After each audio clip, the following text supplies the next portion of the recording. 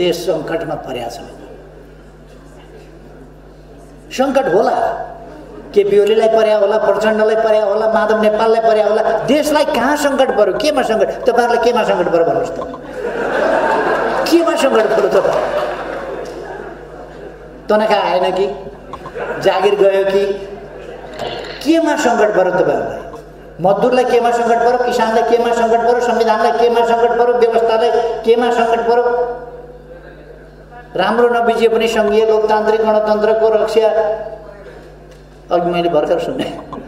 सङ्घीय लोकतान्त्रिक गणतन्त्र खतरामा पर्यो भनेर। यो बाँचोस् भनेको थियो अरे। खतरामा पर्यो अरे सङ्घीय लोकतान्त्रिक गणतन्त्र। के भएछ? केही बिमारी त सङ्घीय लोकतान्त्रिक गणतन्त्रलाई म देख्दिनँ। कुनै कहीँबाट खतरा आएको त देख्दिनँ।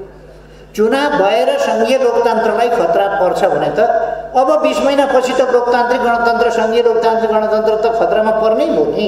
चुनाव गर्दा खतरामा पर्छ भने।